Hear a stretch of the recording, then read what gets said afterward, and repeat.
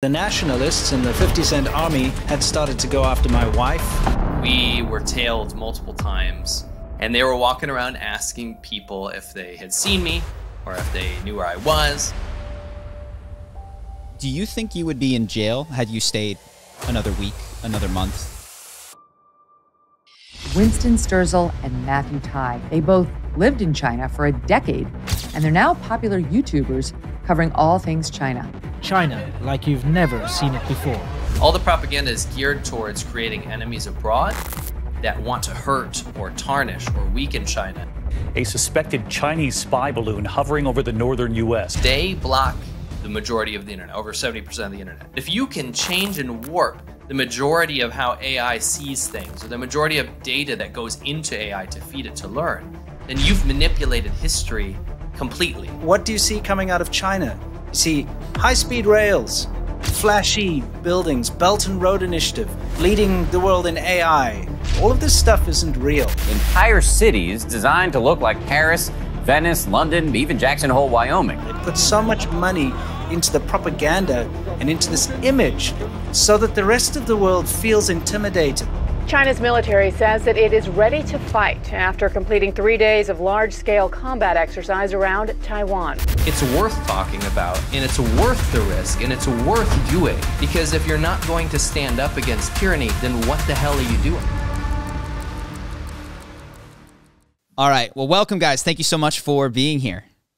Oh, thank you for Thank having you us very, on. Very yeah. much. We're very happy to be here. So happy. So, uh, Matt, I want to start with you. At the end, one of uh, I've watched a lot of both of your videos, but I think one of the crazier stories is your exit from China uh, Yeah. and uh, kind of having to use Hong Kong as a jumping off point to get out. You've got the video up. I can point everyone towards it, but I'm wondering if you can give us sort of a uh, collapsed version of that because Yeah. this establishes your bona fides as like you're you're legit. they, Sure. they were really Yes. trying to get you. Quick breakdown, because he's definitely going to want to check out the whole video for sure. Yeah. uh, yeah.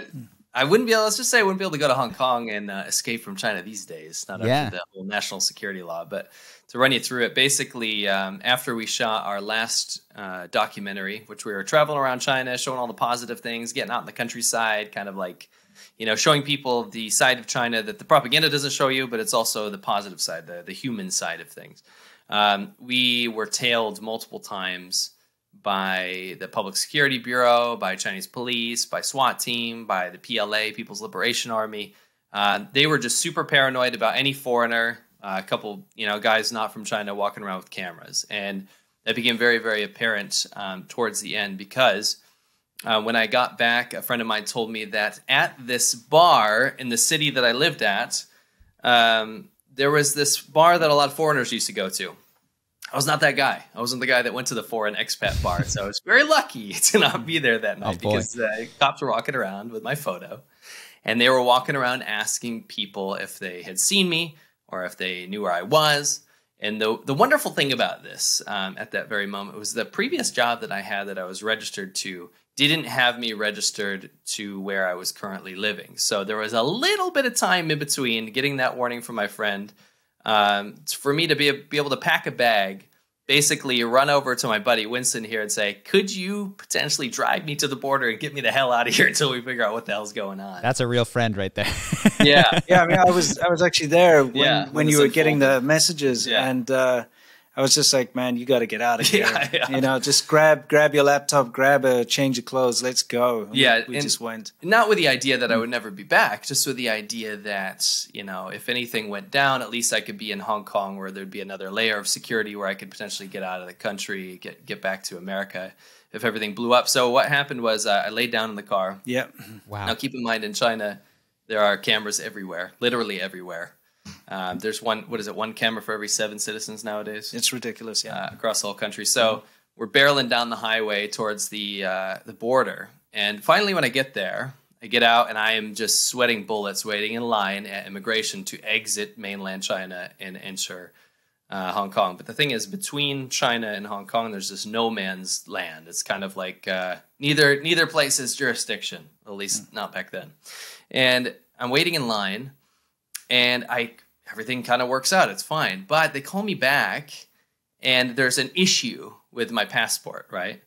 And the thing that triggered this whole thing was I, that I was very concerned about was while I was leaving, the guy asked me if I had a Chinese name, and that's something I'd never been asked before. It's never something that's ever come up before.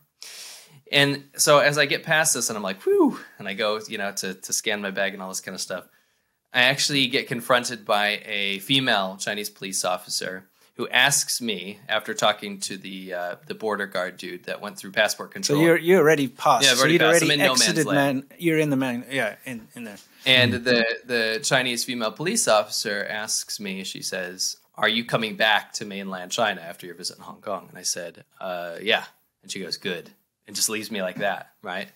Turns out, after I get into Hong Kong and I figure all this kind of stuff out, there had been a collaborative effort of by the Chinese government to track me uh, where I live, to find me, and, and kind of construct a case with the People's Liberation Army, the Public Security Bureau, and just the Chinese government in general, uh, together with the traffic department in, in the city I was living, to find me and make me an example, right? And it was What does what does that mean, by the way? So, uh, do you think you would be in jail had you stayed another week, another month? Yeah. absolutely, absolutely. Because, and I say this, because just soon after that, a friend of ours named Michael Spavor Yep. uh, from Canada ended up going to political prison. And this is a person that we had worked together with uh, During we our were, documentary. While we were putting Yeah. together that documentary where we were tailed, and he Yeah. ended up going to political prison for what was it, two years or something? Yeah. Before he was uh, sent back to Canada in the whole Huawei Meng Wanzhou thing. I won't get into that. If your audience doesn't know about it, you can just Google it. Um, but basically, we avoid. I avoided the inevitable, so to Yeah, speak. the, the border guard obviously made a mistake Yeah. by letting you through. He had some suspicions, Yeah. and then he wasn't sure it was you and let you through, and then that's why the other person approached you. A- and they they knew that I would be back. Yeah. Right? So okay, just wait till he gets back. That's Yeah. that's the idea at least. Wow. And if since then, obviously things have changed in Hong Kong. Safe to say that if it were 2023, same story, they let you through to Hong Kong, you're still in trouble. Oh yeah, like if Winston and I even transit to Hong Kong, let's Yeah, say uh, we're going to South Korea, and they're like, "Oh, it's a quick detour. We got to stop in Hong Kong real quick." You better believe we're the first two people off that plane going to jail. Yeah. Wow. Yeah. Wow. Okay, so not going back to China for you guys anytime soon. No, unfortunately, not, not anymore. and it's not just speculation either. We've No. we've got people within Yeah. China that are connected to the government who've warned us and Yes. told us not to do it. Well, this is, and this is the thing that you guys make abundantly clear, which I'll highlight for you, which is the difference between the Chinese people and the Chinese government. Even in this story, there was somebody who you, I don't think, know, who reached out to you that tipped you off to all this happening. Can you talk? A, Do you have any idea where that came from?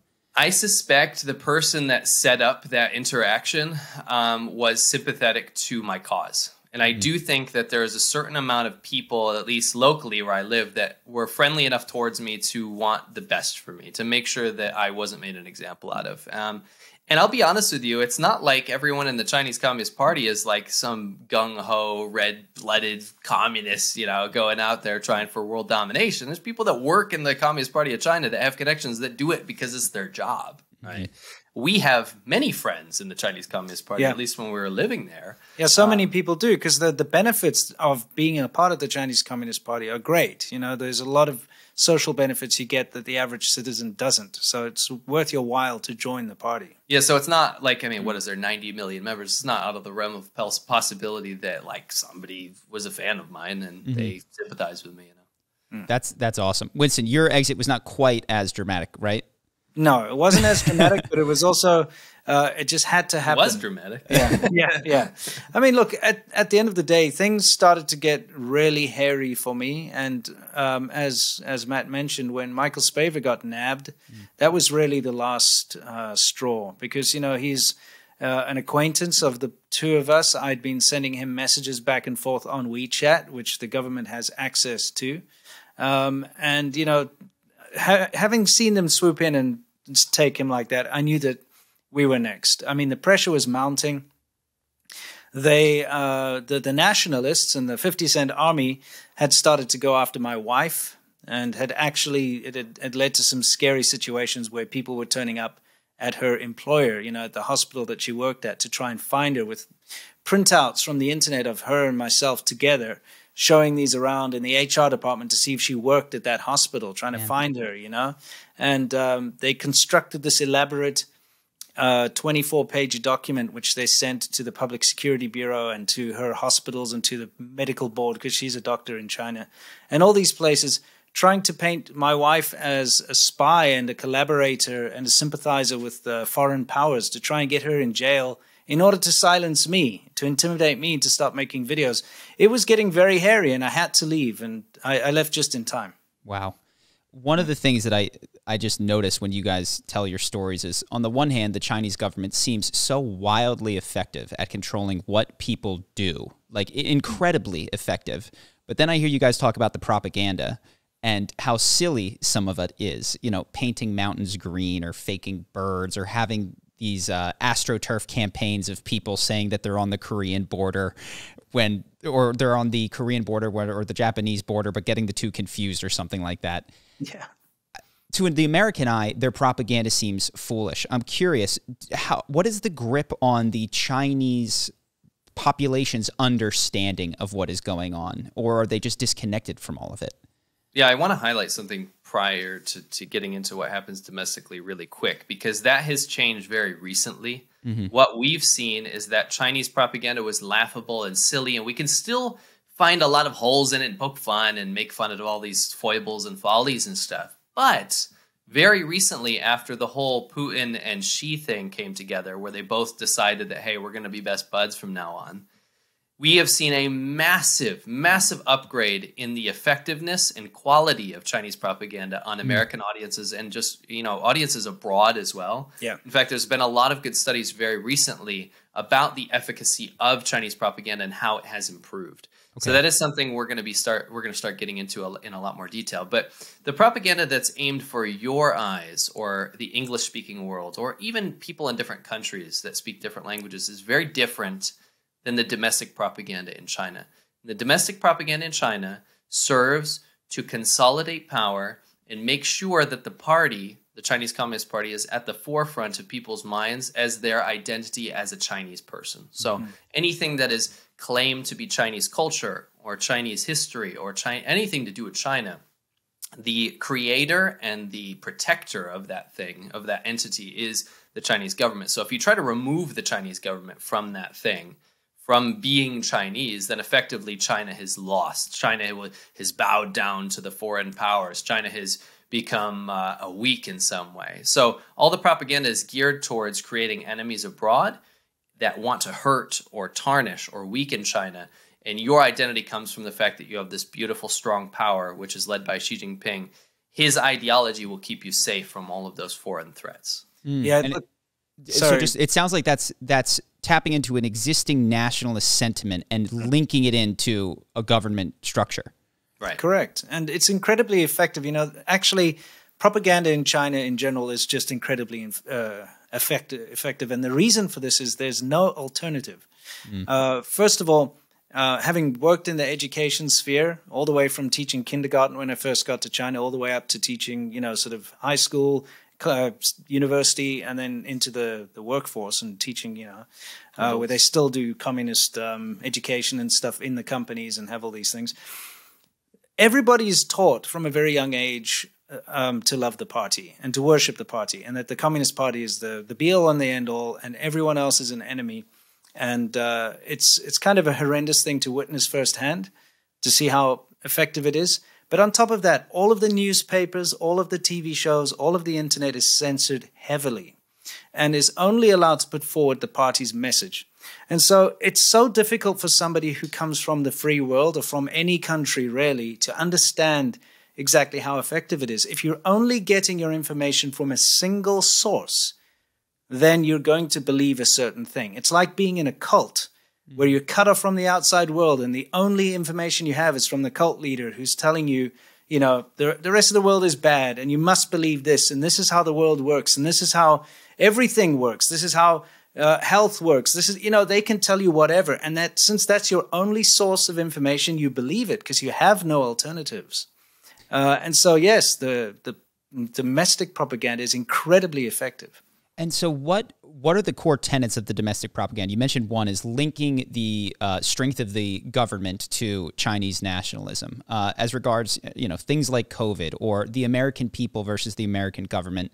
What have the Chinese people been sort of instructed and programmed to think about the world? Yeah, so there was a golden period, we like to call it, uh, the golden period when we lived in China prior to Xi Jinping's rule, even into Xi Jinping's rule before he really started to strengthen his core leadership within the party. We like to call that when China was kind of experimenting with being on the world stage. It was kind of cool to interface with foreigners as a Chinese person. It was encouraged. It was almost like, yes, we are Chinese, we are proud, and there is existing nationalism, patriotism there. Sure but that kind of switch isn't turned on all the time because China and Chinese people were encouraged to be interfacing with foreign people from different countries, starting partnerships and, and co- corporations together, and um, kind of projecting China's image abroad, but at the same time allowing certain elements of foreign culture within China to proliferate, mm. uh, whether it be a foreign bar or a, a cultural exchange, you know, uh, English corner or something like this. All this stuff was promoted at that time, and then something happened um, around we like to say around 2015 to 2017 was a really hotbed time mm-hmm. for when the nationalism really got ramped up and what people were taught then was that the no the outside world is not actually your friend mm-hmm. everything that has has led to the success of modern china the economy because we have to admit that the economy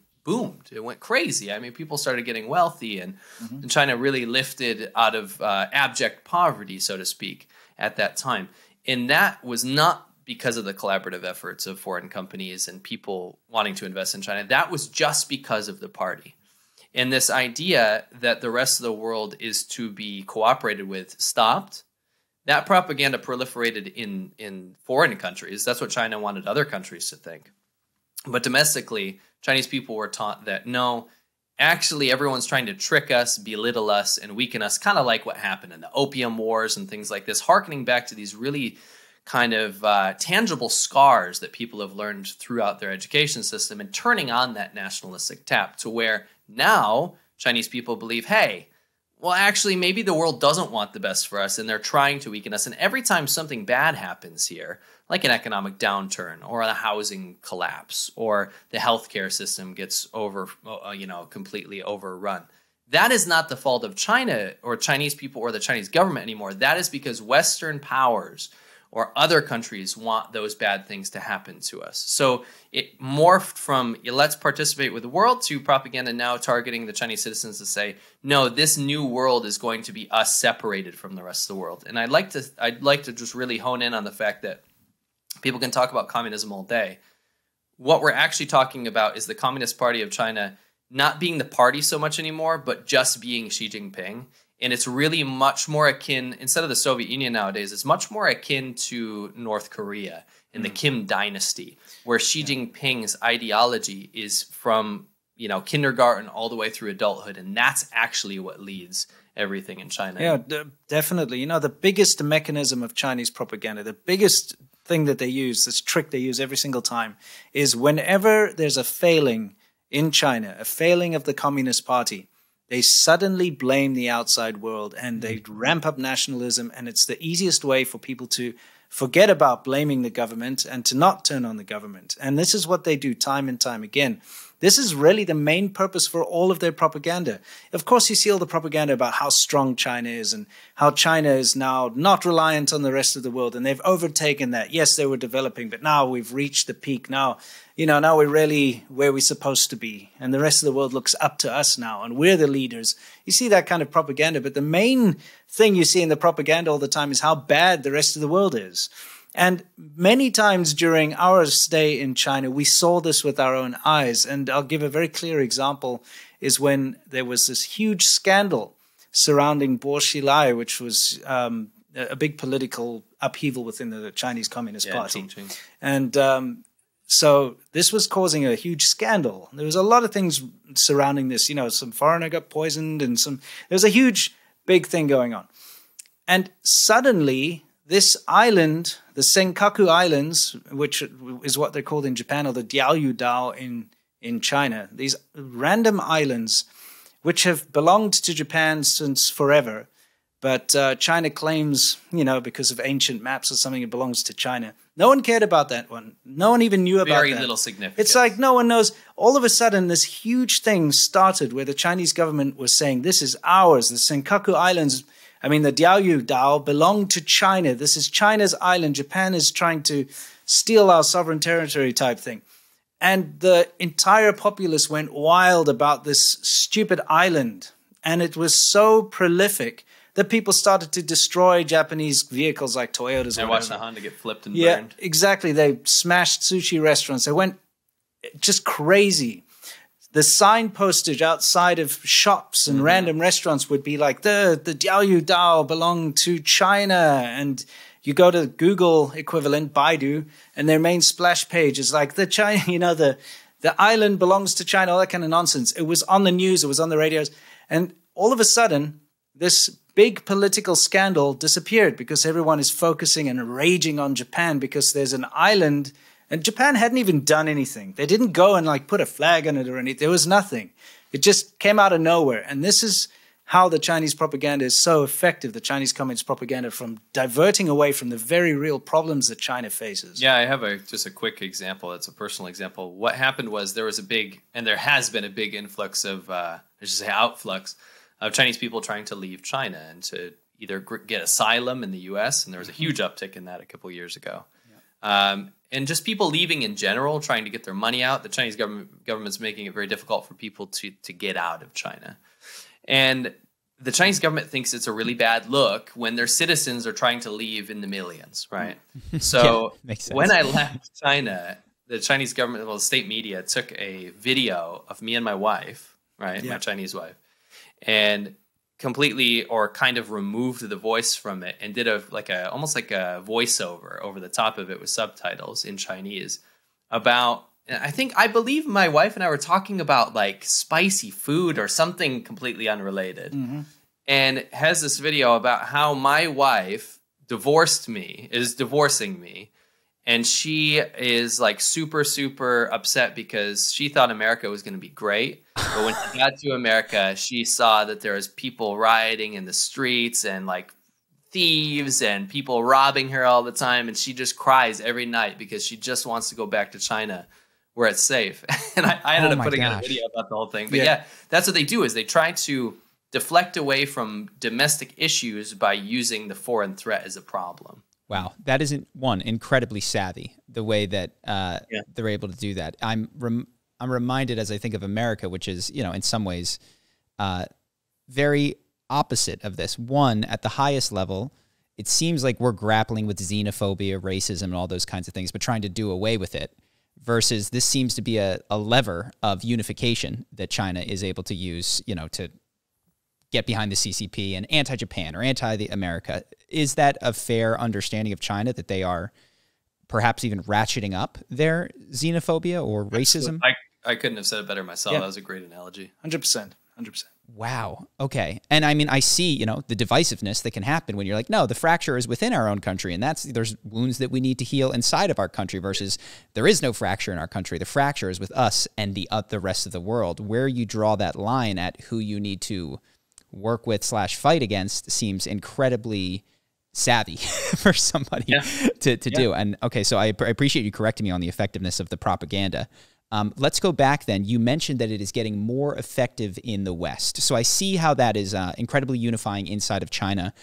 When I watch some of your videos on the Quora answers that they have that are in you know, somewhat broken English and are like just these obvious, when you look at them, like, is it true that Xi Jinping is the greatest? And it's like, well, actually, he is. You know, like, Yeah, that's, that's, yeah, that's core in a nutshell, right there. That's just core. Yeah. Still waiting on Quora to answer me about that. one. so so when I look at that, I go, this is impossible to fall fall for. This must be for a domestic audience. What is happening outside that you have seen be effective on a Western audience? So actually, that's a good segue. Um, the, I think the Quora thing is a great thing to bring up because as laughable as it is to go to Quora and see an article say, um, like you said, is Xi Jinping? The, is it true that Xi Jinping is the greatest? It, why was China's COVID prevention so successful while the U.S. burned to the ground? Right?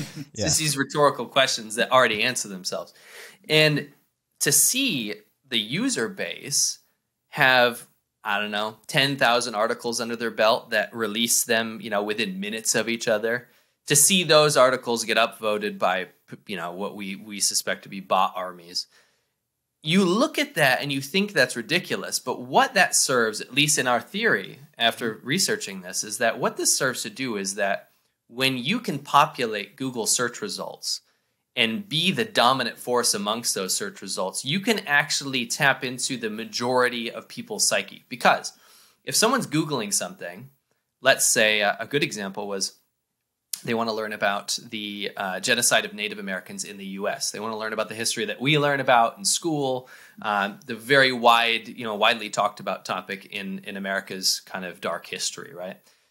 China has managed to populate a lot of those search results with its own government sources, Quora articles, things well, like this. even better, right? when you search Uyghur genocide, the first result in Google was the American Native American genocide, Yes. and the article that it was linking, the top result was a Chinese government article. Right. Hmm. So what this serves to do is let's say you don't even read into those, but if you can mm-hmm. read or you kind of graze past these headlines and the vast majority of them have a pro Chinese government slant, then you've already kind of entered the psyche of people that aren't going to go through every single source and read through every ridiculously worded answer. What you've done is changed SEO or search engine optimization to be in your favor. And this serves two purposes. One, for the people that aren't going to look deeply into these things or realize that they're reading Chinese, Chinese propaganda or at least glancing at it. And number two, for the future of AI, the way the AI works, just a very, very simple way of doing things, is to gather data, to gather language, to gather points ah. across the internet. So from there, you can shape how future search results are going to be. Let's be honest, we know that Google, the way that traditional Google works, is not going to be how search engines work in the future because of big data, because of machine learning, right? Mm-hmm. But if you can change and warp the majority of how AI sees things or the majority of data that goes into AI to feed it to learn, then you've manipulated history completely, right? And we saw that a, a very good example of this is how China always referred to itself or didn't really care if people called the Chinese government the CCP. Yeah, it used to call itself that in official articles up until about 2017 ish. Then all of a sudden in mm. 2017 and onwards, we see this massive push from the Chinese government to say you can't call the Chinese government the, C- the C- CCP anymore. That's racist. Mm. That comes from like Western forces that want to see the downfall of China. Mm. We are called the CPC, right? So now they've tried to have this big rebrand called the CPC or the the Communist Party of China. Now, officially, technically in English, it would be called that, but they never really cared. It was just kind of They colloquially known. even they even admit in in government literature online in Chinese that either or is okay. yes, They admit that, but now they've pushed this narrative, and the reason they've done that obviously is to whitewash the past. Yes. It's like a criminal changing his identity.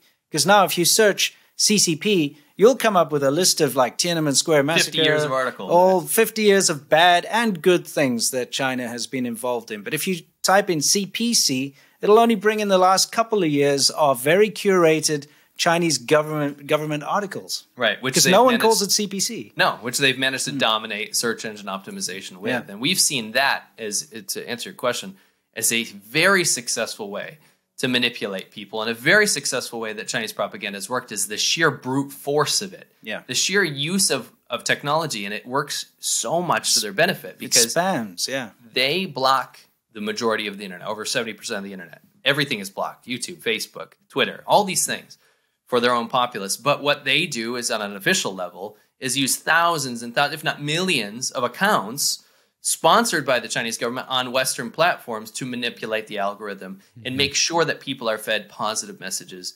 about the Chinese government. And that's something we have such a hard time combating because This, yeah, we can't. we're independent voices. We don't have bot accounts. We're just two guys on YouTube, right? Yeah. The spamming is a big thing. I mean, think about this. Imagine you've got a an article and somebody writes a, a comment on there which is truthful. Says like, "I was there. It's true. What's in the article?" If you have a thousand people downvoting that comment and just spamming something about, "Oh, China is great" or something, nobody will ever read that real comment. You see, so it's more just a brute force way of pushing an opinion out there and getting rid of dissenting opinions. I have one current example if you have time for this. Just Absolutely. Yeah. Um, it's something I'm working on right now. It was something that I it was affecting me, and I, as a guy that watches Chinese propaganda f- to make videos to make sure that people are getting the truth, it actually was affecting me. I kept seeing this word. It was de-dollarization. I'm yes. okay. I'm right so now. glad you touched on this because this has right. been my big worry about China. Oh my God, we're going to lose. Please right. continue. Yeah. So, as somebody that's not super savvy on economics, I kind of pushed this topic down the road. People kept asking me, "Hey, can you talk about this de-dollarization?" And I'm like, "Ah, yeah. You know, I'm not an expert. I have to get some experts to, to teach me about it first, right?" Finally, the day came where I'm like, you know what? I'm I keep seeing this de-dollarization thing everywhere, like on my YouTube feed, on my Twitter feed, on mm-hmm. Instagram, even. Uh, people keep sending me TikTok videos about it. I'm like, what is going on with this de-dollarization thing? So I start looking into it, and I started asking economists about it.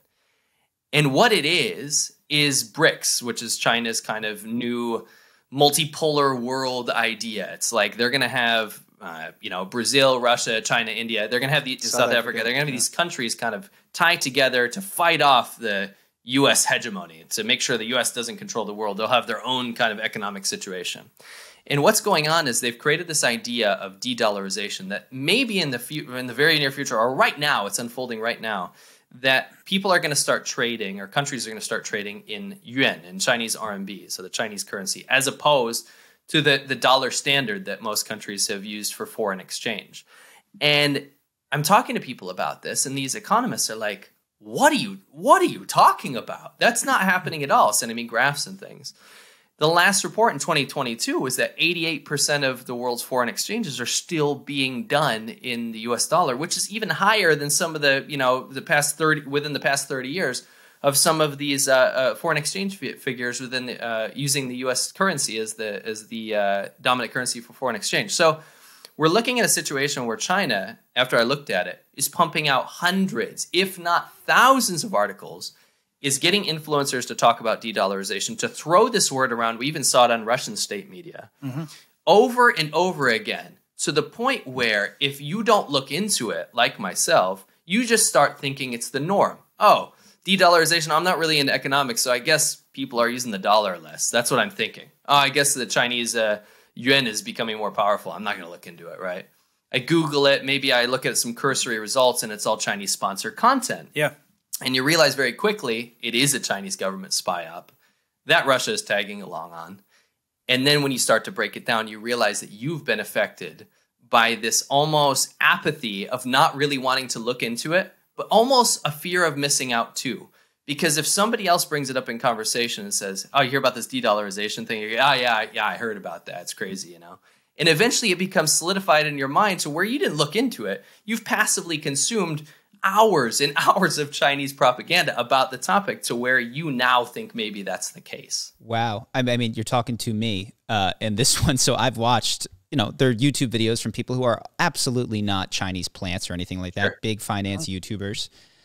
Uh, I'll tell you my experience with the de-dollarization thing because I did act on it. I didn't buy any Chinese yuan, but I uh, started seeing about this de-dollarization stuff. Friends sends me graphs that foreign uh, banks are increasing their gold reserves and decreasing sure. their dollar reserves, things like that you know, data which might be factually true, but of course, finding the narrative in this, while there are failing banks in the United States, uh, Silicon Valley Bank goes down, one or two other regional banks go down. Balaji, I don't know if you're familiar with him, he's talking about how Bitcoin is going to be ascendant, it's going to be a million dollars. And it seems like while there might be truth to uh, people trying to figure out what's going on with the dollar, there's fluctuations in foreign trade. A story like that can be tapped into and written by the CCP to be like, okay, there is this thing, which is there's some fluctuation going on. We can ride that to destabilize the dollar and insert that, you know, the the RMB is is in ascendancy more than it maybe really is, which can actually then make it true.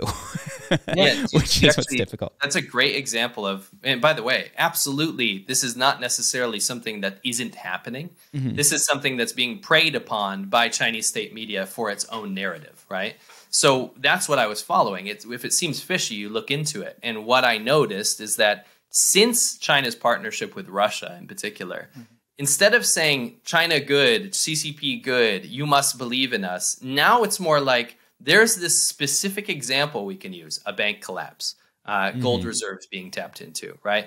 We can use a specific example and then exacerbate on that and absolutely spam the crap out of everyone about how the U.S. is completely doomed and already has fallen apart, and the U and the UN and the the Chinese government is going to take over and be the dominant force in the world. That's what's happened. It's taking and preying on people. It's almost like a boy who cried wolf scenario here. Mm-hmm and then nobody looks into it to actually see what's what the motivation might be. Well, especially Americans are so wrapped up in domestic politi- uh, politics mm. and what happens within America. So you know, hey, a bank collapses like that. It's a worrying thing. People are focused on it. They know all about it. Then you get an outside actor coming in and saying, "Yes, you see what's happening here." That's because your dollar sucks and our yuan is going. Now we're going to trade with Brazil only using yen. Now we're going to mm. do this. You better worry. See, you're in flames. Your entire system's screwed Meanwhile, the Chinese system is a complete chaos. It's just chaos. It's a joke what's going on with BRICS and everything else. The dollar is still incredibly strong. There's nothing going wrong. There are hiccups and problems going on in America, just like there always are, and there are in every single country. But China is very good at hopping on the fact that Americans specifically don't look outside of their borders, and all of these local domestic problems get blown out of proportion. So they feed on that and they help breed the paranoia and they spread division and they make sure that it works in their favor. And that's what they're very good at doing these days. So you're sort of saying that a lack of my understanding of, you know, I know about the banks that failed the United States, but I don't know about whatever is happening in China that is falling apart or not working. And therefore, the comparison that I might be making in my mind is easily corrupted by, you know, China's on the ascendancy and I can see all the problems in America, which yes. then lends credibility to that. Interesting. Oh, think about it. I mean, what do you see coming out of China? You see high speed rails, yes. flashy buildings, Belt and Road Initiative, dealings with Africa. You know, you see all of these these big projects that they want you to see, mega projects, building bridges. You know, oh, leading the world in AI, whatever. All of this stuff isn't real. All of this stuff is fake and it's propaganda. Everything the high speed rail is running at a massive loss in China. There are accidents and problems that you don't hear about. All of this stuff that you think is flashy and far ahead, the AI stuff is a joke in China. They put mm-hmm. so much money into the propaganda and into this image so that the rest of the world feels intimidated. The rest of the world feels like, holy crap, look, China's got it switched on. They're so amazing. They're great. Look at our terrible how terrible we are, especially in the States. Look at Philadelphia with all the drug addict zombies on the street because they keep showing that clip over and over again. Look, our banks are failing. Look at this. It's nonsense. Small little incidents all over the place, blown out of proportion. And China's put this fancy facade up for everybody to see and think that they've got it switched on.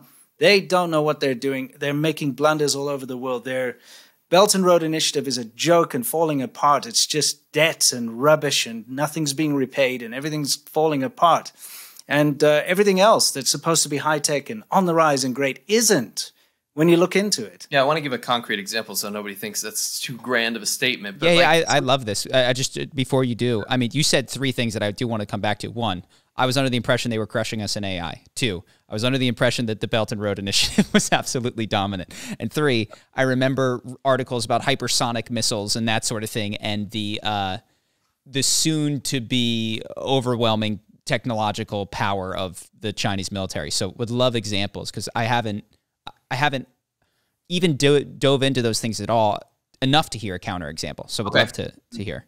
I think well the example I was going to bring up I think is the most important example in terms of what nations are getting on board with for agreements about climate change, right? Mm-hmm. And that's just a huge topic that everyone talks about. China keeps being lauded as the leader for the pioneer or proliferator, a best proliferator of, of green technology, uh, of solar and renewable energy, and how they have solved all of these issues. They yeah, they had pollution when they were developing and stuff, but now China's at the forefront and leading the world in green technology. And this is a super dangerous narrative because we're sitting here with a country that is getting on leadership boards of these multi multinational organizations and and projects to kind of push the narrative of, of China paving the way and getting sort of kickbacks from all these ideas that China is leading the world in green technology, when in fact, China, what they've done is increase their coal usage six times. So while the rest of the world tries to reduce emissions and really, really push tries to push legislation that you know, you know, causes a lot of debate in some societies and a lot of, but a lot of people can get behind because hey, it's a sacrifice for the greater good of the earth. To reduce global warming. Yeah, Dutch uh, farmers, for instance. Yeah, yeah. For example, it's a contentious mm. issue in a lot of areas. While this becomes a debate and people are nitpicking and trying to figure this out, China is increasing coal usage six times. They're burning their.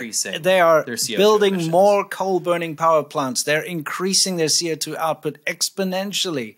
They're creating so much more pollution but the rest of the world sees them as some kind of green tech leader, and it's like you well, say, it's because it's, the narrative has been pushed. It's right? so dangerous, yeah. And that's a bad precedent to set when you mm. have the country making the potentially making the decisions of the future about what the, the, the state of the world and CO2 emissions and what is actually happening that is increasing their CO2 output and actually adding to the carbon footprint of the world exponentially to the point where China makes more CO2 emissions than every uh, developed nation combined.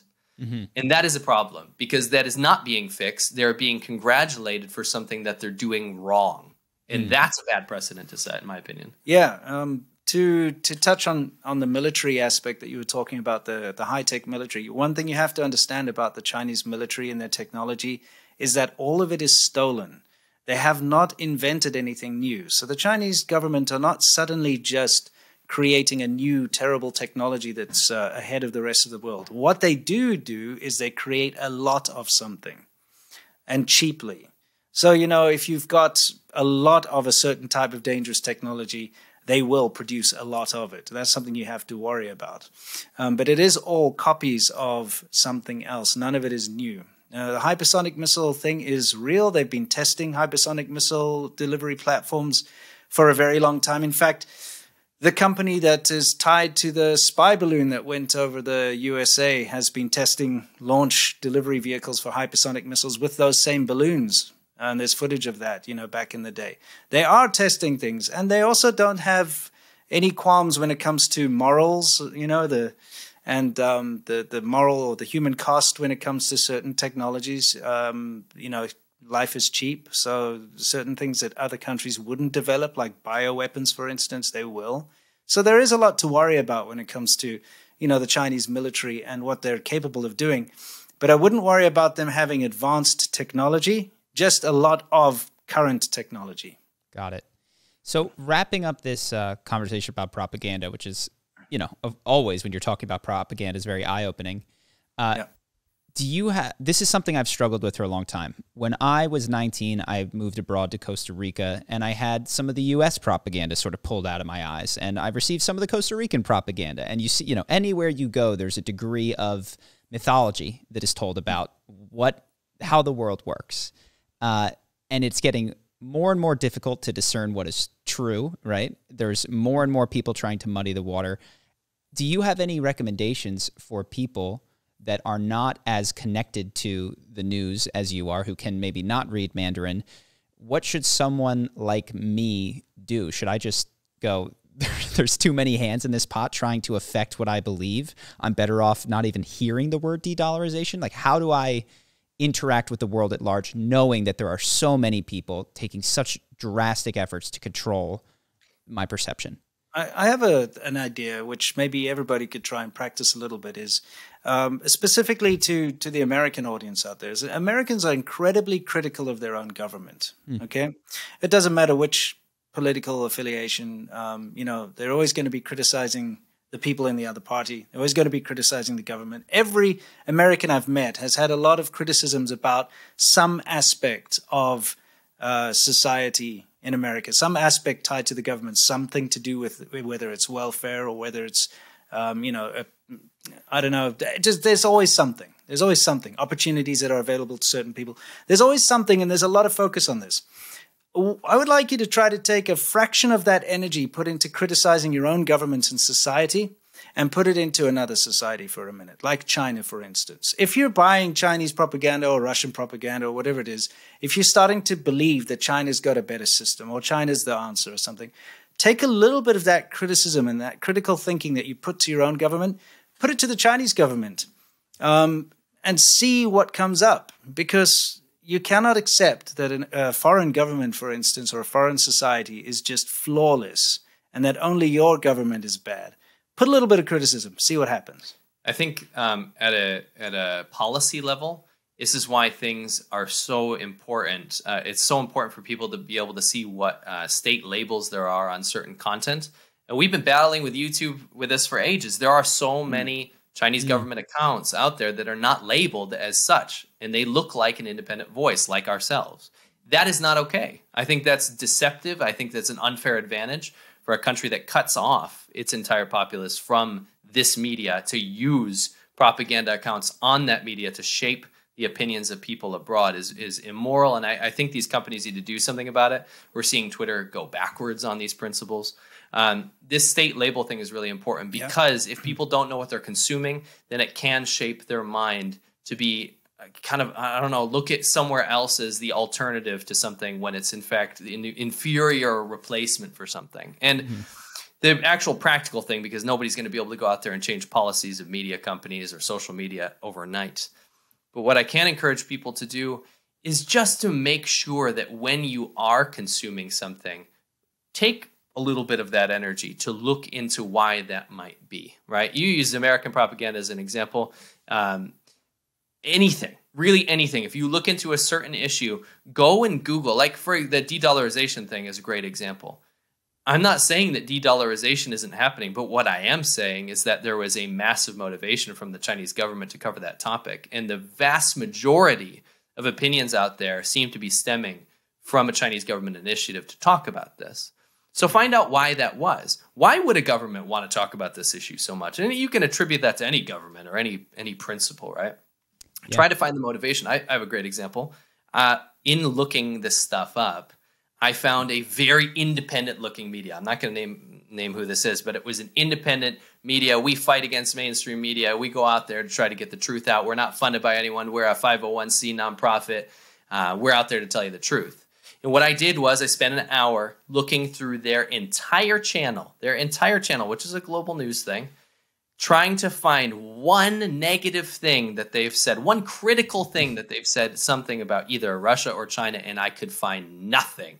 But I could find hours upon hours of pro CCP and pro Russia propaganda on an English speaking news channel talking about global issues, claiming that they're independent. You need to do things like that. You need to employ your own methodology of finding out what do you think the angle is behind this? Because it's not just and I like to, people like to go out there and, and hate on mainstream media outlets like New York Times or Fox News or whatever. You can pick anything. This is biased. This is you know has a clear agenda and all this kind of stuff look into not only the agenda of the entire organization, but look at maybe look at uh, uh, what each journalist has talked about. Maybe look at what their angle is on things.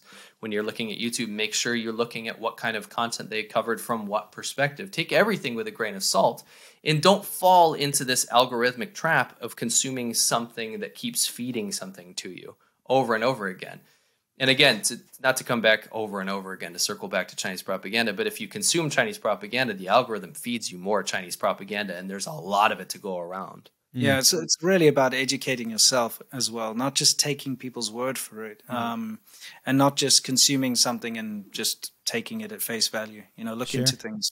I mean, you guys. It occurred to me as you guys were talking, and even in my question, um, it, your traveling was is clearly giving you guys a broader understanding. The fact that you learned the language, met people on the ground, you know, there's only so much you can read about that can defy what your own eyes and ears tell you. And even just having the experience one time of going to a completely different place, seeing that things are different than you heard, I think leaves a lasting skepticism that is really healthy. Uh, and yeah. I know it's been it's been yeah. good for me. Yeah, dude. You know, even I'm not American, right? So I know a lot about America because the American um, news is talked about worldwide. You know, somebody gets shot in America or something, and uh, you'll hear about it all over the world. Every quarter of the world, you'll hear about something about police brutality or something because it's so hyper broadcast and focused on. And, uh, you know, American soft power when it comes to Hollywood movies and stuff, it permeates the entire globe. So I grew up, you know, with this idea of what America is. Coming to America, it's different, okay? I'm not getting shot at. I'm not seeing drug addicts all over the place. I'm not seeing police, police brutality everywhere. I'm not seeing, uh, you know, the military bombing things all over the place. It's not what the media puts out there. It's one of those things you have to see with your own eyes. You know, once you see something, you can really judge it. Um, and of course, you can take everything else into consideration and see what's real and weigh things up and the severity of things. But just taking people's word for it and just listening to what the news has to say or what you know biased media is out there trying to say it's not the right way to do things. If you can experience something for yourself, you should. Yeah, I love that. And I mean, you guys obviously you motorcycled all over China. You guys got to see it firsthand, which is incredible. Um, let's we've kind of been talking around and about it but I, would like to just hear your guys' thoughts geopolitically. You've mentioned that China's kind of a shit show, I think. Yeah. Uh, in the next 10 years, broadly, there's two camps that I'm familiar with. There's the Ray Dalio camp, de dollarization is happening. Uh, you know, the American empire is on the decline, China's on the ascendancy. It's a matter of time, and it's pretty much already written. Uh, and then there's the other one, which is I see in Peter Zeihan, which is China's running out of people. Uh, they've got this authoritarian government that is ineffective, and before the end of the decade, they're going to have a population collapse, potentially, you know, everything else collapse. Where do you guys see things going in the next ten years with uh, the geopolitical status of China? I think the uh, that those two camps are very interesting because both rely a lot on statistics, which is very, very important. But the statistics coming out of China are bullshit. okay, I mean, Did, who believes that only five thousand people died of COVID over uh, how many years? You saw that. You've probably seen that graph where it right. shows the infection rate, and it like quickly gets to about five thousand, then it just flatlines like for two years without a single yeah. other death. You know, seriously, even the Chinese government admits that they um, put out BS uh, GDP numbers. Okay, you cannot. You know, anyway, get back to yeah, you just can't rely on those statistics. My point is that statistics yeah. have to come from somewhere, yeah. and we're getting to a point now where we're seeing things go from taking Chinese statistics verbatim to which is which is causing a lot of people to think that China will become the dominant power in the world, and then you have things where because there's no lack because there's a massive uh, lack of transparency in data points from China, they come up with crazy ideas like uh, we can look at how long the lights are on. Yeah, from uh, space, across, from, from satellites. Space, because yeah. if China's going to be lying about that, we'll look at actual, real, concrete data. And that's not to say neither of those things have some weight of truth to them, but we're at a point now where it's so polarized because China has controlled its own narrative this entire time. We don't have any reliable data. So Winston and I have always been very careful not not to just not want to be wrong, but not to make any massive predictions. I can't tell you when China is going to invade Taiwan. I think they will at some point. Can't tell you when it's going to happen. But you have every Tom, Dick, and Harry telling you it's going to happen tomorrow or it's going to happen 10 years from now. There's no way of knowing what China is going to do. You can have an educated guess about what the leadership might do. I'm watching China completely close itself off to the rest of the world while offering kind of this fake olive branch to different developing countries where we'll help you develop in exchange for a lot of sovereignty, really. Mm-hmm. Um, we're watching stuff like that happen. But in terms of like global leadership and watching the US like fall apart and China taking over and stuff, it's really impossible to say. I can say this though. I don't want to see a world that is led by a China that I watched kind of come out around 2015 to 2017, 2018 era.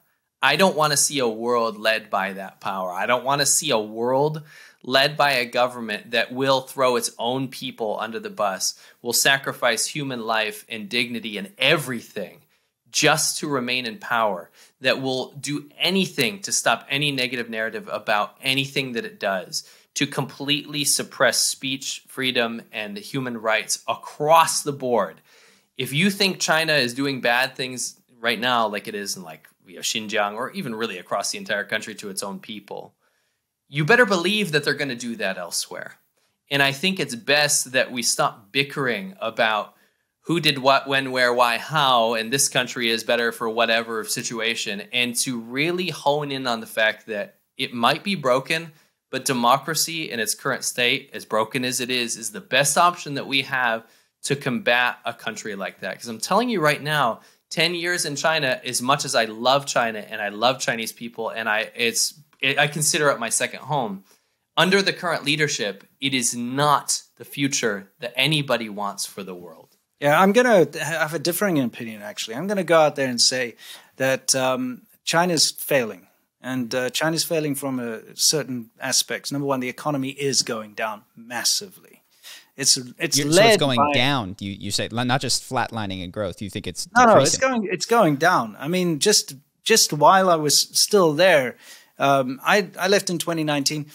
the spending power of people has gone down because the debt that was incurred during this massive boom going up, buying all these houses and so on, it's now starting to come to roost.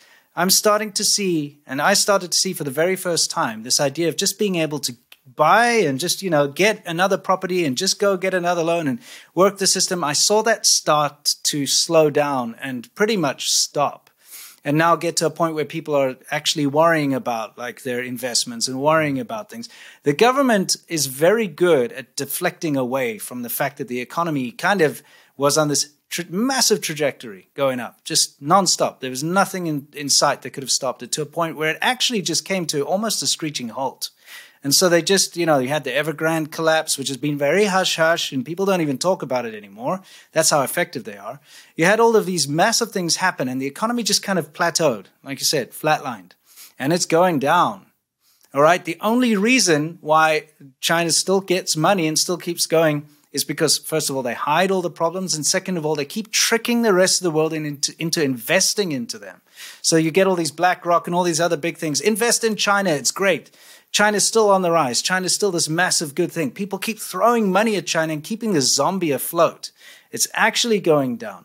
They're incredibly incompetent. Their dealings around the world in Africa and everywhere else with the Belt and Road are falling apart.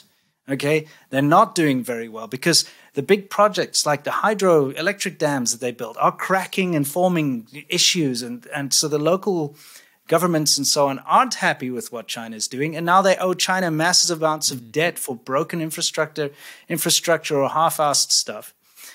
They're not doing well. They just look like they're doing well, and they keep tricking the world into fearing them and to investing in them and to and working with them. And the stupid thing is, they do all of this while treating the rest of the world like an enemy, putting on these military parades, threatening to invade Taiwan blustering. Oh, you've crossed the line. You're going to do this. You don't. You will be facing consequences if you do this. It's very blustery. They treat the rest of the world like an enemy, but at the same time say, you invest, invest in us. Come on, you know, give us your money.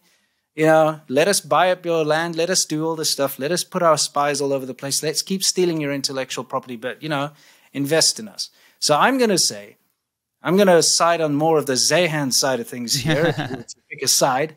And I'd say that it's an incompetent mess that is being propped up by very good propaganda, very good optics, very good spin doctors to keep it all going, and the fact that nobody can actually penetrate this opaque system, which is so heavily censored.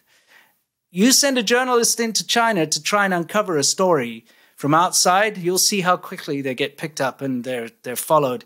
And everything that they're supposed to see is what they're going to see because the government knows they're going there and they'll arrange it. They'll rebuild an entire village overnight if they have to, just to fit a narrative. What's going on in China is rubbish. This whole thing about lifting people out of poverty, all they did was lower the benchmark for what being poor is. Mm. If you go to the countryside like we have, people are still very poor, incredibly poor out there. You know, my heart goes out to them. I love the Chinese people and I love China. I just hate this government that will sacrifice and push its own people down to fit a narrative. So I'm going to say it's not going to last.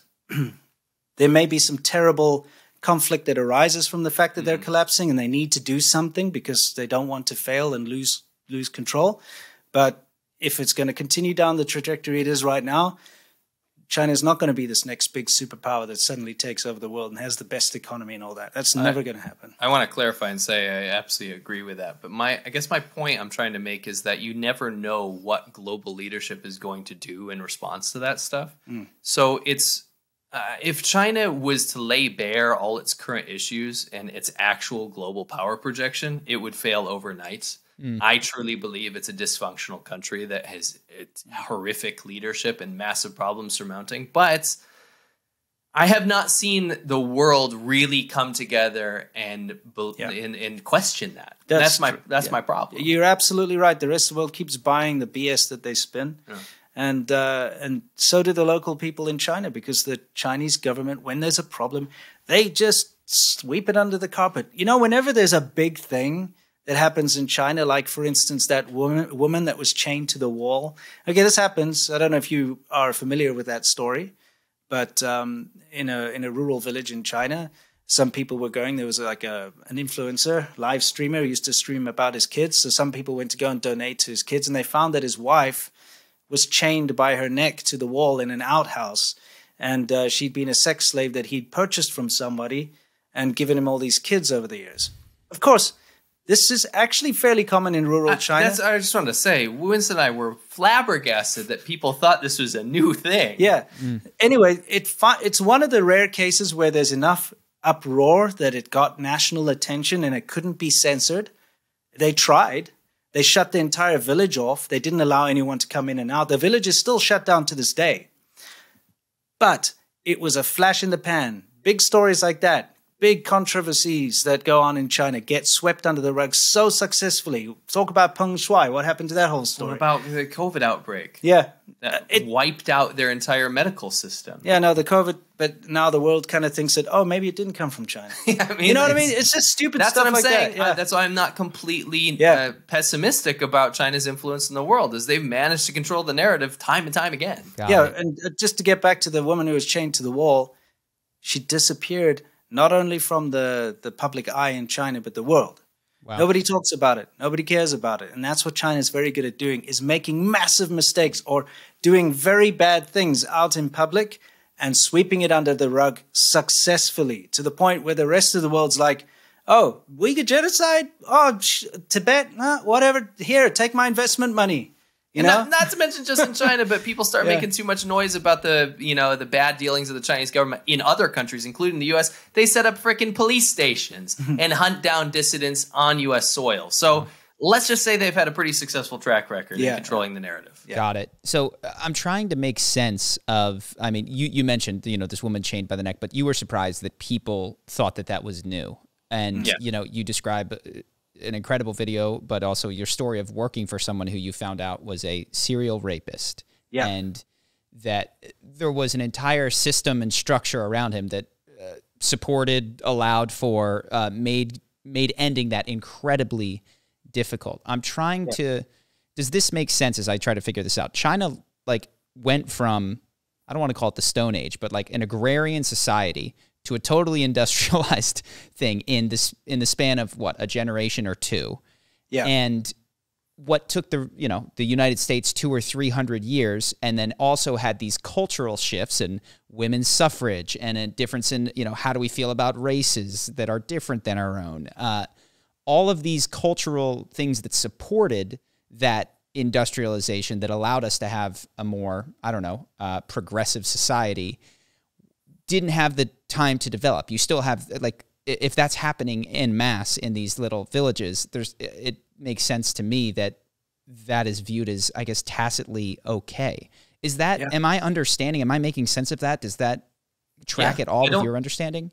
Yeah, I don't think your um, I don't think your comparison to America is wrong. I do think there's a couple things lost in translation there, and that's to assume that China had any sort of massive cultural shift like the U.S. did.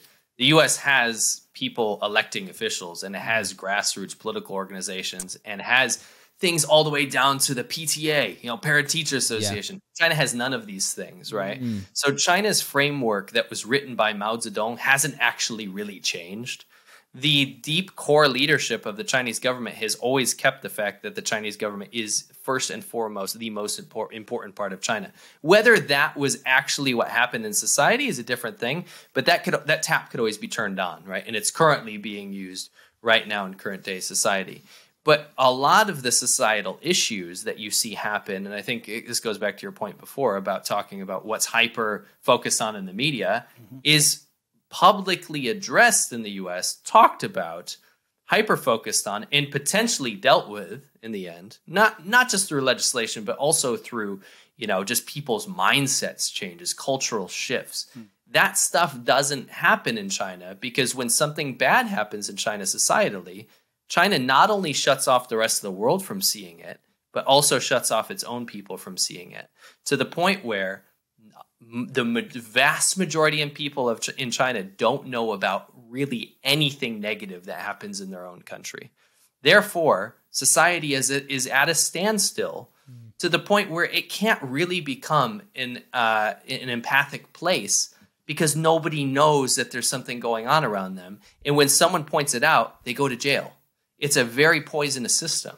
That yeah, is- you know. Sorry, ahead. I just wanted to point on um, there. There is merit to what you say about the sudden increase in technology and the sudden increase wealth. in wealth and the sudden increase in infrastructure and so on. It's very overwhelming for certain members and certain parts of Chinese society to deal with. We see this with, um, you know, people not understanding how escalators work or Sure. elevators work or the basic basic things. The fact that, and this might sound weird to you, but car sickness is a massive issue in China. Every time Yeah. we went on road trips, people will be puking all over the place. Didn't grow up in a car. Yeah, because they just never had that experience of being in the back seat of the car when they were mm. growing up. So now you've got adults who hop on little minibuses or something in the countryside and they have to stop every couple of minutes while people get out and vomit. It's mm-hmm. it's something Very you see with your own eyes and you're like, what is going on? Why is everybody puking everywhere in the rural countryside of China? there, yeah. And you figure it out. It's because none of them ever got that experience of driving in a car. It's the same with the traffic there because nobody grew up driving in a car. Mm-hmm. They didn't have their parents to show them how to drive properly. So it's chaos. You know, there's things like this that you have to take into account that definitely fit into your whole idea of Yeah. the switch. Yeah, and Matt, one thing you said, it, you, the way you describe China, like it's almost if it were a singular person. It, this is what happens when you suppress and repress acknowledging your own issues. Is you you can put off dealing with them, you can fit in with a group for a little bit longer, but ultimately nothing ever gets solved. As you described, it's it, the empathy doesn't develop because you're not internally looking, and uh, that seems to be a difference between the authoritarian face-saving regime of China and you know the imperfect democratic but willing to self-reflect to a greater degree West that that is uh, just interesting to think about. Yeah, actually, believe it or not, I used to watch a lot of your content when I was in China. and a buddy of mine used to sit down. Uh, we used to sit down together when we were trying to get used to how to be on camera. Yeah. We used to watch your videos to like coach us through it and be like, "How do I? How do I not look like an insecure douchebag?" Love it. I love it. well, I'm so glad. I'm honored. That's so cool. Um, so there's a, a handful of other little stories that I wanted to touch on. By the way, was it helpful? Did you uh, do you feel like the the videos of it? Absolutely. Oh yeah, 100%. Yeah. incredible. I'm I'm putting that uh, testimonial on our website. Yeah, go for it. Uh, so we we touched on a lot of this. Um, I I haven't heard an update. I don't know if you guys have any idea on Jack Ma. So there was that mm-hmm. whole thing where you know he said, "Hey, maybe it would be good if we were a little bit more open," and then he disappeared for a month. I and then he came back and his mind was changed, which I thought was incredible personal development. But I'm curious mm. if you guys have any idea what like what type of experience does a multi-billionaire have? Does he go to a camp? Is he locked at home? Is he do any any speculation or understanding of what might have happened there? He was recently spotted living in Japan. Mm-hmm. So, you know, he kind of just appeared out. in, in Japan, but then he, I believe he went back to China again. Yeah. Um, you know, I guess the government tells you, shut up, get out of the spotlight. They probably put them under house arrest. You know, they did that with that famous actress uh, Fan Bingbing when she. You know, It was a common like a tax thing. They disappeared her. Nobody knew where she was. Nobody, not her agent, no one didn't know where she was for months. And then she resurfaced. Oh, I have to pay my taxes, type thing. They just disappear people. So uh, they do probably put them under house arrest, maybe a detention center, I- whatever. I, I don't like to be vague about this though because I would never know. I'm, I don't. I can't be in the shoes of a billionaire. Sure. yeah. Um, but what I can say is concrete examples of anonymous people. I kind of keep anonymous, but people I know that open their mouth a little too big. Not not as like a massive thing, like take down the Chinese government type of level, but it's caused too much of a stink in a local area. And what happened to them is they are house arrest kind of looks like this. You have your minders that are always keeping tabs electronically on you, so they're watching what you're doing online, on your phone, who you're calling, and who you're texting and stuff. So that's kind of a fence in its own self. I don't think people realize how unbelievably robust China's security apparatus is. But this person also would have daily visits, and we call that uh, going for tea.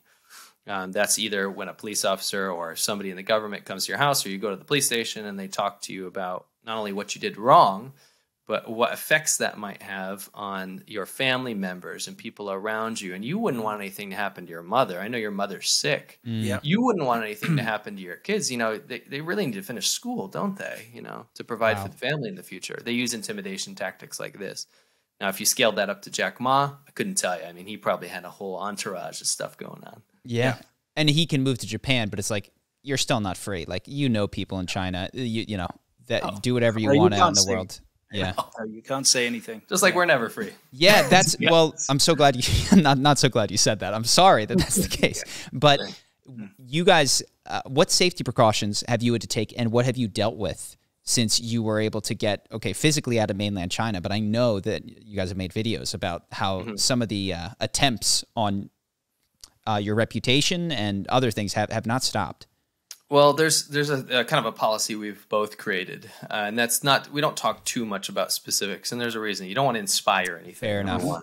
And number two, you don't you also don't want to cause anything to sh- change tactics because if you're on top of something, you understand how it works, right? Um, but really, just base level intimidation started. Uh, remember, you were talking about your story about your uh, trying to find your wife and you uh, via Yeah. her Yeah. in China. Um, there was a bit of disassociation with some of the security apparatus in China slash some of the people that are going after us because even after I had left, they were trying to find my wife at her work and sending huge paper reports trying to find her stamped by the government, all this kind of stuff. Therefore, trying to get get to me too. Uh, but when they figured out that we were in America, they obviously sent. I'm not, I just don't want to get into too many specifics, but they Sure. sent a lot of people after us. Let's just say, Yeah, they've been. We've us. we've had like phys- like actual Yeah. real life interactions, physical um, confrontations. and there've been obviously people threatening, trying to dox where we are, trying to swat us, try to do all the usual stuff. Now the the thing is, it, it really kind of ruins the way you do things. We used to be very open. We used to go have sus- subscriber meetups Mm-hmm. Yeah. all the time. You know, we used to do that kind of thing. It was a big part of what we did. It was a lot of fun. We can't do that anymore. You know, we can't actually publicly announce where we're going to be. So we have to be very careful just about the way we move around. And, you know, if we film things, we can't let anyone know our location or the mm-hmm. time of day or anything. So people can try to figure out where we are at any given time. So, you know, there's all sorts of nonsense that goes along with that. You know, I enrolled my, my kid in school under a different name, that kind of thing. You know, Wow. it's, it's a lot of things you have to do. It's, it's an unfortunate, it, it sucks. It really does, but it's just precautions you have to take because at the end of the day, the Chinese government and all the people that work for them, they have no morals or scruples. They just want to silence you and they'll do whatever they can.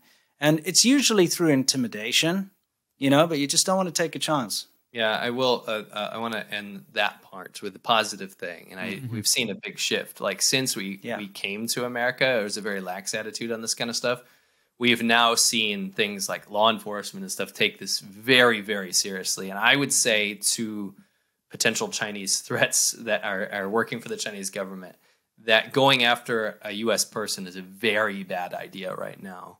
Uh, much worse than much worse idea than it was a few years ago. Yeah, they've been ramping up with the whole transnational repression stuff. You know, they're catching.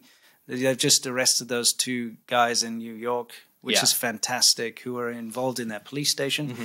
Because you know the, these guys do go uh, after dissidents and after people that oppose the Chinese government. They go after them on foreign soil all the time, um, and so now. Especially in America, they're being taken serious, and, and there are repercussions, which is fantastic. Yeah, I think we'll see a big shift in that. Yeah. I'd say I can't speak for other countries, but I'd say if you are trying to speak about the human rights abuses of the Chinese government, the U.S. is probably where you want to be. Yeah. Um, how? I mean, it's obviously you guys have uh, made taken the precautions that you need to, and you're keeping yourself safe. Uh, how do you feel with all of that stuff? Does that is that a daily worry? Is it just normal life at this point? I mean, the things that you're describing, if it were just to happen to someone from one day to the next, that's that's a huge shift in, Shocking, in life. And I'm curious how you're uh, how, what the emotional experience of that is. Yeah, I mean, I don't think there's any reason to pretend like I'm a big, strong dude that doesn't give a shit about any of this, right? I don't think that serves any good. I do think it's important to never show people that something like this could supersede your morals, like a, a threat like this, right? Because that means that that entity supersedes any potential uh, person from trying to stand up against it, right? So it's not a David and Goliath scenario. I like to think of it like this I mm-hmm. understand the risks, I understand how it works now. I understand the burden that I've taken on, but I don't want that to make other people feel like it's not a burden worth taking on. And that's what I tell a huge chunk of our audience is actually Chinese dissidents. It's Chinese people that can't speak out against the Chinese government, whether they're in China, whether they're in America, whether they're in Europe. They reach out to us and say, Thank you so much for what you're doing. And that is the mm-hmm. fuel and the power that makes you continue to realize, hey, what I experienced those 10 years isn't a lie. What I see the Chinese government doing to hurt people all over the world isn't a lie. It's worth talking about and it's worth the risk and it's worth doing. Because if you're not going to stand up against tyranny, then what the hell are you doing? If you know what I know, if you know what he knows, if you're silent about that, then who did you help in your life? When you have thousands of people reaching out saying, Thank you for doing what you're doing, you're actually making a change. Yeah, for me, quite honestly, the, the whole threat of this whole thing, I mean, the whole reason they do what they do, try to find you, try to intimidate you, is to silence you. And I'm never going to allow that to be effective. You know, that's this this idea, this the disgusting behavior that they they participate in. I'm not going to allow that to work. So it's not going to silence me. And it also, in a way, I appreciate some of it because it gives me a lot of uh, material and a lot of motivation. Okay. I, I, don't know if you saw, I made a video and it's titled, it's a question, by the way, not a statement. It's like, are Chinese men cowards with a question mark? It's a question. All right. It's like, is this cup full? Doesn't mean it is. Right. Um, I made that video.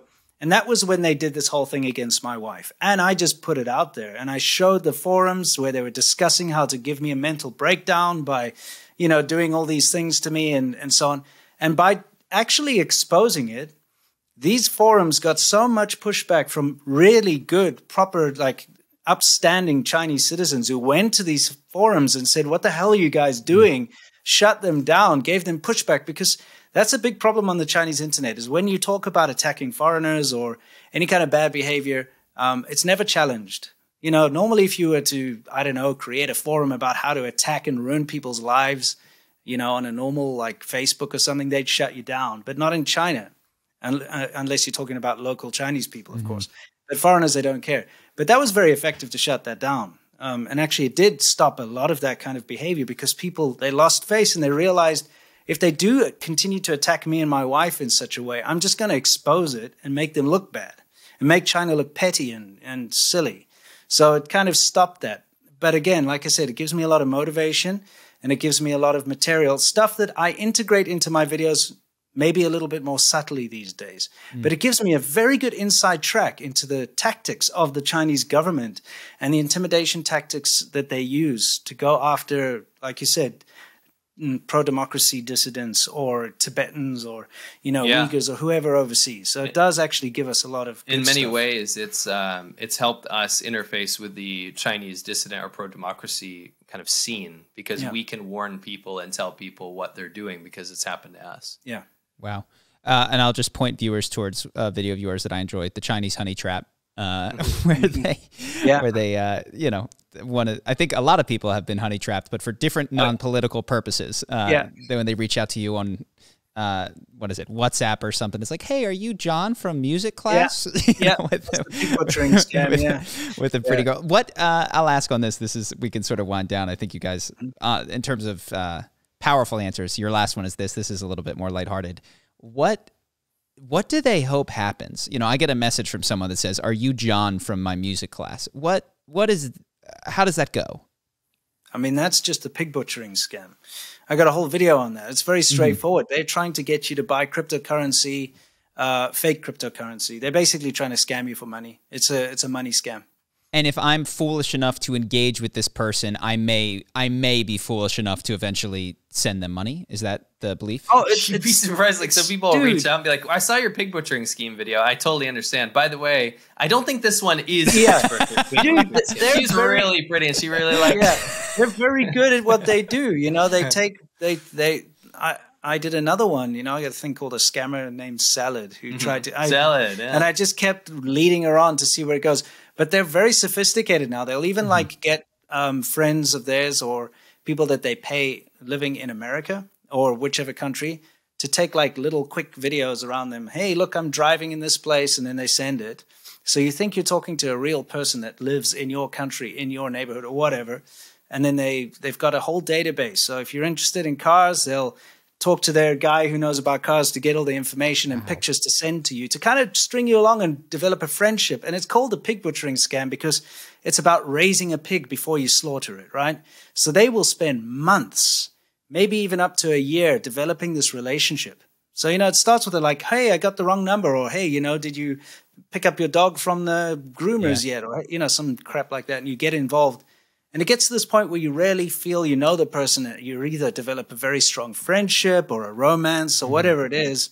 And then they start to get you into, hey, my uncle's got this great way of earning money through cryptocurrency or something. And, you know, then you lose all your money. Now, the wow. dark side of that, I didn't want to have to bring this up, but it's very important that we say is that a lot of the people you're talking to are potentially slaves. Yes. Wow. These uh, Chinese gangsters actually run these massive operations, usually out of Myanmar, uh, mm-hmm. Burma, and Cambodia. And they get they entrap these people. They uh, give them a job opportunity or whatever to move abroad. These people move abroad to Myanmar or Cambodia. Then all of a sudden they're inside of these illegal gambling operations. Yeah, passports get taken away. They get their passports taken away. They're you know there's armed guards that prevent them from escaping. So you're potentially talking to an actual like kidnapped human trafficked slave. Oh my goodness. Yeah. A lot of a lot of good material about that. People have, uh, I believe, Danny Gold under Underworld podcast and stuff. They did some actual like show up and try to figure this stuff out. Mm-hmm. Uh, there's been a bunch of documentaries about it. Wow, uh, that's. I mean, this is a silly question. I don't know if you know the answer.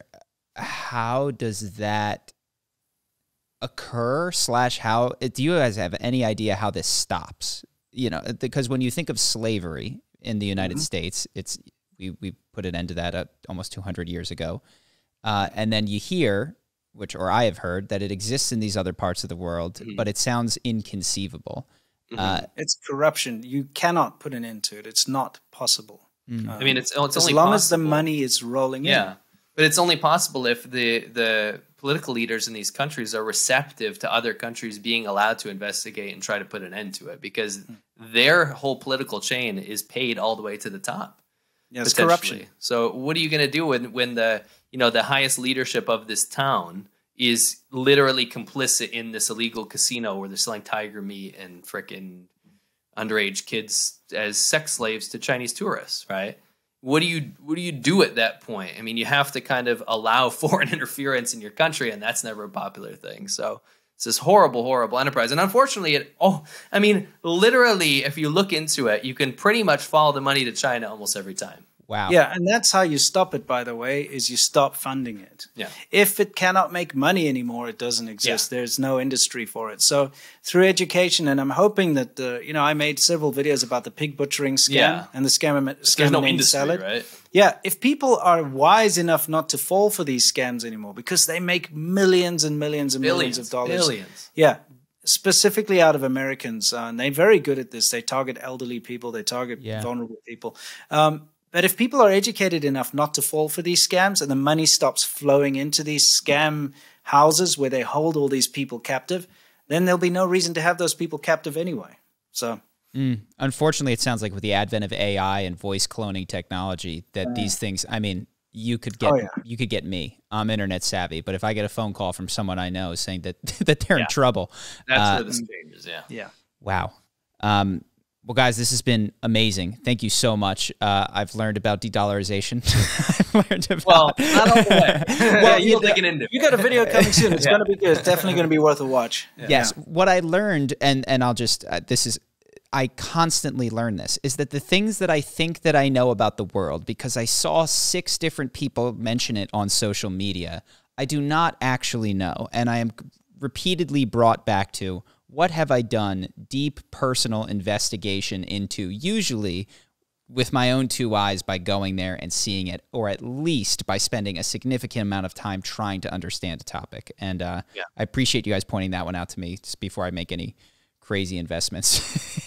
no, else. we're very much in line with you in that in that train of thought for sure. Yeah, thanks thanks for having us on. Really, it's been a great interview. Of course, and where you know people, uh, where should they go to find you? You mentioned that you've got this uh, a very exciting video coming out on de-dollarization. Where's that one going to be, and what are the? You guys have several channels that you guys. Uh, the most important channel to find pretty Everything. much the most important work we do is called the China Show. So that's really easy to find. That's our our live show every single Friday. It's just called the China Show, and we cover all the current events that are happening in China and help people to understand from you know perspectives of people that speak Chinese and look through the Chinese media to understand the current topics in China and understand from a perspective of you know we don't work for any sort of media organization. Yeah, we're so, independent completely, and we have we a whole actually thing, mean that. Yeah, yeah, we have we have a whole thing called Soft Power Hour, which is all about how the Chinese government is trying to trick you into thinking something. Yeah. Uh, so it's always a, a, good segment on the show. So, Def- so definitely, yeah. just just go to the China Show and you can find. Yeah, you'll find everything else from there. We'll have links to all our, our other channels. Yeah. Beautiful. Well, thank you guys, and uh, hopefully you. we'll have you back on sometime when we find out to. if China's going up or down. we'll yeah. see. Yeah. yeah. Thanks, guys.